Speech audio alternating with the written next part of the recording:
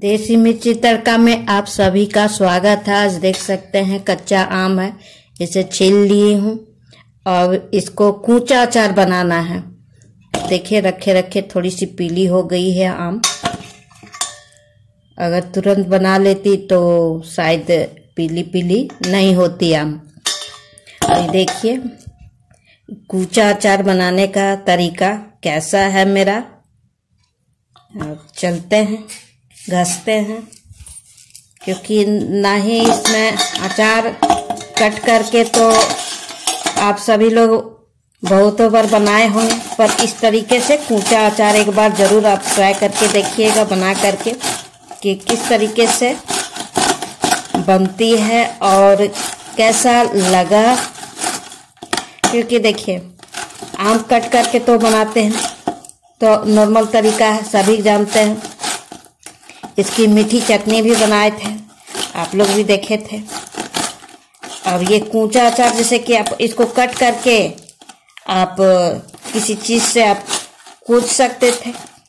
पर मैंने कूची नहीं हूँ। यहाँ पर मैं घस कद्दूकस से घस दे रही हूँ। और घसने के बाद इसको मैं अचार डालूँगी। देखिएगा क्या क्या मैं डालूँगी इसमें। क्योंकि थोड़ी सी गीली हो गई है आम मेरी। खरीदी थी, उसमें तुरंत बनाई रहती तो दिक्कत नहीं होती। पर मैं छोड़ दी थी दो दिन, इसलिए इस तरीके से हो गई है। देख सकते हैं, इस तरीके से घसा जाएगी। और पीली नहीं होती, थोड़ी दिन नहीं होता तो सफ़ेद रहता, क्योंकि पीली हो चुकी है आम। ये देख सकते हैं, इस तरीके से घस लेना है और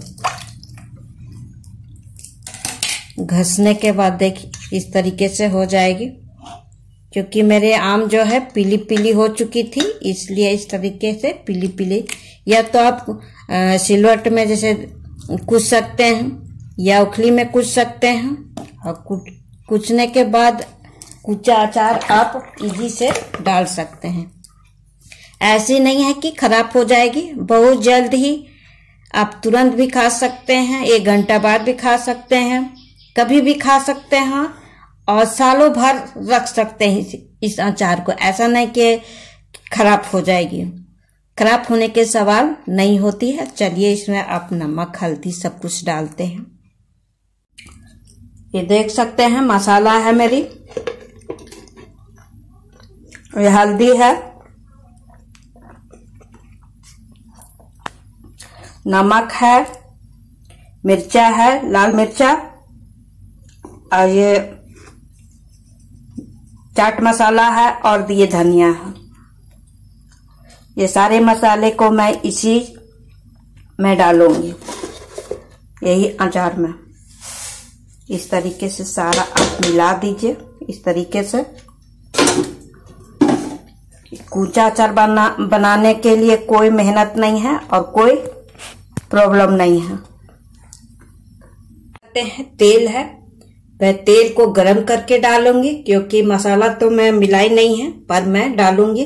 तेल को गरम कर दूँगी, क्योंकि तेल गरम करके डालने से अचार कभी भी खराब नहीं होती है। इसलिए जब भी आप अचार बनाएँ तो उसमें तेल आप गरम करके ही डालें।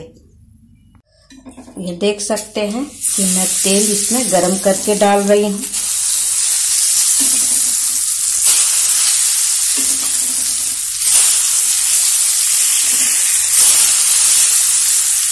इस तरीके से अचार को मिला देना है सारे मसाले में।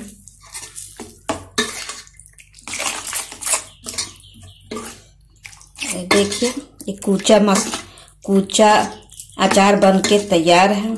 अब मैं थोड़ी एक घंटा के लिए मैं धूप में इसको रख दूँगी ताकि इसमें जो पानी है वो इजी से निकल जाए।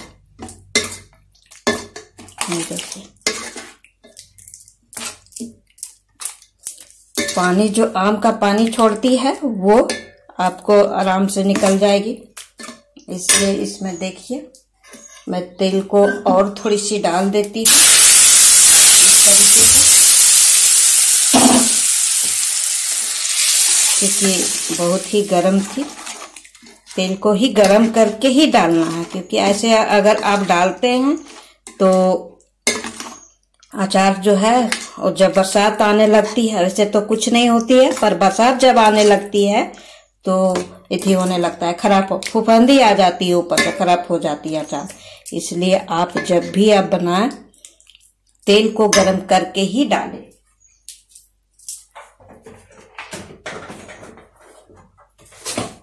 इस तरीके से। डालने से क्या होता है कि अचार कभी खराब नहीं होते। अब देख सकते हैं, कसूरी मेथी है। मैं इसमें डाल देती हूँ। अचार बहुत चटपटी बनती है और बहुत ही ज़रूरी सी। ले करके अगर आप खाते हो ना तो बहुत ही टेस्टी लगती है और बहुत ही अच्छी लगती है। अचार, ये देखिए। कैसा लगा अचार? ज़रूर ट्राई करिएगा, एक बार बना करके देखिएगा और चैनल को लाइक, सब्सक्राइब करिएगा।